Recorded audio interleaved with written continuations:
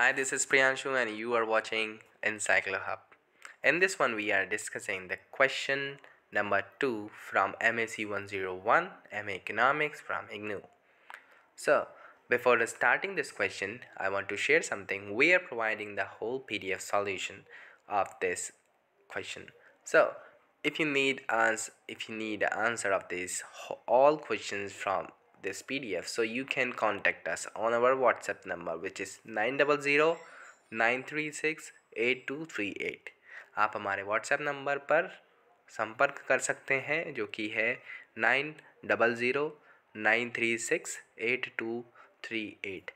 चलिए question start करते हैं. Given a Cobb Douglas utility function where X Y and two goods and that a consumer consumes at per unit prices of P X and Y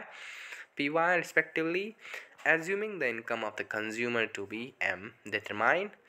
a Marshallian demand function for goods x and y indirect utility function for such a consumer and see the maximum